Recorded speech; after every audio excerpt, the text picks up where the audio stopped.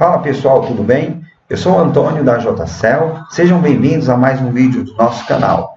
No mês de abril será lançado a versão Pro do curso de manutenção em iPhone. A Pro foi criada e desenvolvida para trazer mais agilidade nos processos de análise. Sem contar que a versão Pro traz mais funcionalidade ao material de apoio. São mais de 300 páginas de material para vocês estudarem. Vou passar aqui um pouquinho do nosso material para vocês terem uma ideia do que, do que está por vir.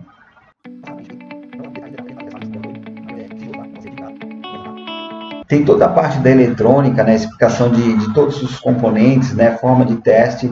Tá? Aqui nessa página, a partir da página 100 e 106, é, nós mapeamos as placas dos iPhone Tá? Então, eu vou dar alguns detalhes para vocês, não vou passar todos, tá? mas só para vocês terem uma ideia. Nessa página aqui temos detalhados todos os conectores plásticos da placa do iPhone 6. Tá? J0802, que seria te teclas de, de volume, J0801 Power Flash, e aí vai aqui, o número 6, J2019, conector do display, tá bem detalhado, tá? As páginas seguintes, componentes da placa, circuitos integrados, tá? Mesma coisa, foi feito um estudo, foi mapeado todos os componentes e identificado para vocês. Então vocês vão perceber aqui, ó, de número 12, o 1501 Chestnut, é o CI de imagem, é o, é o PMIC, né, do circuito de imagem e backlight. O U1502 é o backlight, faz a luz do display. Então todos eles estão identificados aí nas placas, tá? Aqui são, são componentes do lado B, também circuitos integrados, né? Então nós temos aqui ó, o número 5, né? É o Meson, é o CI do Touch. O Meson ele trabalha em conjunto com o 7 aqui, que é o Cúmulos, né? São dois circuitos integrados que se comunicam para gerenciar as funções de, de touch, né? Foi detalhado também, diagrama foi bem estudado, tá? Então nós detalhamos aí como vocês podem fazer análise utilizando diagrama, essa página aqui foi feita análise do circuito de carga do iPhone 6S. Então é dado todo o, o passo a passo, né, desde a da, da, da, da, entrada né, da carga né, através do conector J4600.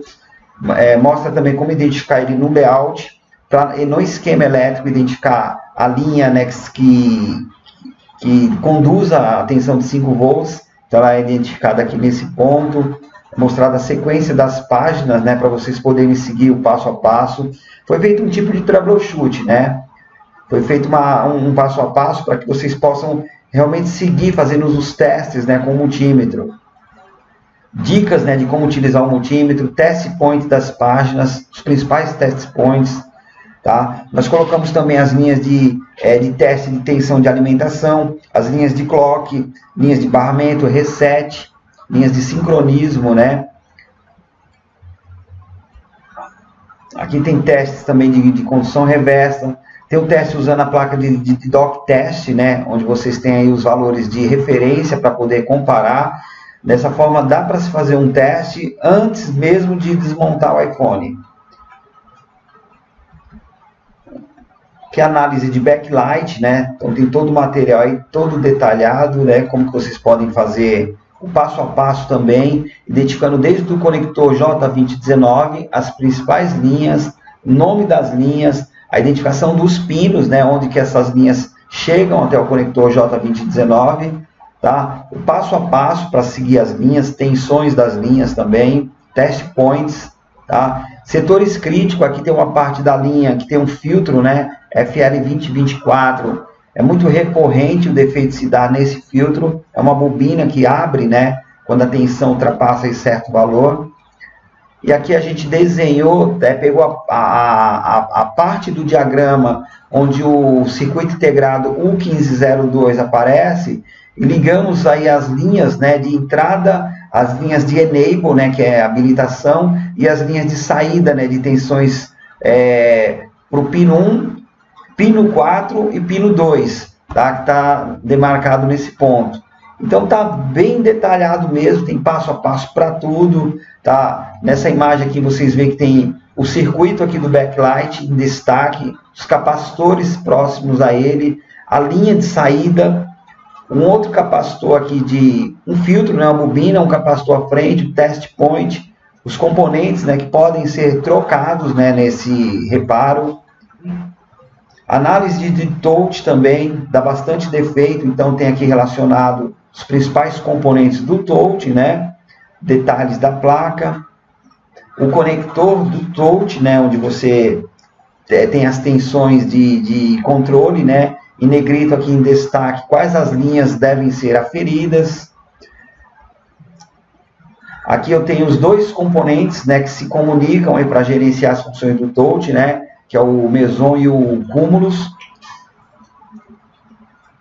Aqui a gente deixou em destaque, né, é, uma sequência de capacitores em séries, né, se eu não me engano tem 12 linhas, e essas linhas, elas interligam, né, os dois CIs.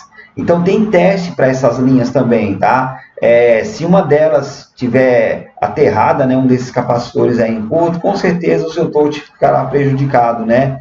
E aí vai, né? Tem muita novidade, tem bastante coisa legal, é baseado em análise mesmo. Todos os defeitos de iPhone vão ser detalhados. Câmera não funciona, vai ter detalhamento para a câmera. Tem que saber medir as tensões de alimentação, tem que saber identificar as tensões de clock, tá? As tensões de barramento, as, as linhas de reset. Então, é, falhas primárias, iPhone não liga.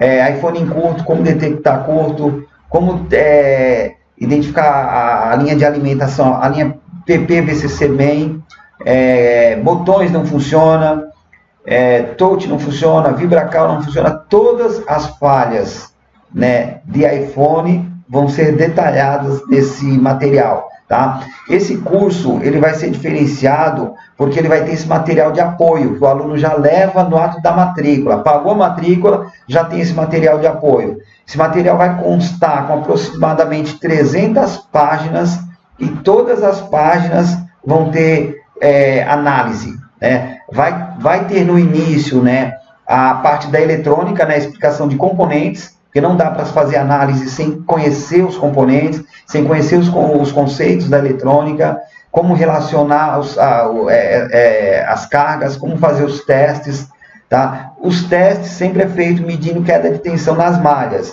Então, antes de começar a medir, vocês têm que saber tá? como que, que identifica a malha, qual a escala do multímetro que deve ser utilizada e quais os componentes que são pertinentes a essa malha. Tem que saber conhecer, identificar o componente, saber como ele trabalha, como testa e como troca. Tá? Então vai estar muito completo mesmo e vai ser focado para reparo em iPhone. Não é um curso de desmontagem, nós não vamos desmontar e montar um iPhone. É um curso feito para técnico. Quem já é técnico e não consegue fazer um conserto porque para ali na metade da análise, então todas as ferramentas necessárias para ajudar vocês a fazer essa análise será apresentada no curso. Técnicas de, de com SMB, para fazer teste de tensão e corrente, relacionar as duas ao mesmo tempo, técnicas de condução reversa, medição a quatro pontas, ZXW é um software muito interessante também, feito por projetista, que também auxilia bastante. Tá? A utilizar o ZXW também não só para identificar tensões da linha, mas também medir a queda de tensão em cima dos componentes. Um teste muito importante também que dá bastante resultado. Phone board também vai ser utilizado em algumas análises. Então, é, é tudo que for necessário para vocês fazerem consertos de iPhone será apresentado nesse curso. Então, ó, entre em contato aí com a escola, procurem os vendedores, tá? Pegue mais informações sobre o curso, datas, horários, valores, Tá? É, é, acompanhe a gente aí nos canais, nas, nas redes sociais, para vocês ficarem aí informados do que, do que está por vir. Mas vai ter muita coisa bacana, tá? Então, até mais, obrigado por ter assistido até aqui. É, se inscreva aí no canal, quem não for inscrito, dá um like aí também para poder ajudar e compartilhe essa informação. Obrigado, pessoal. Até mais.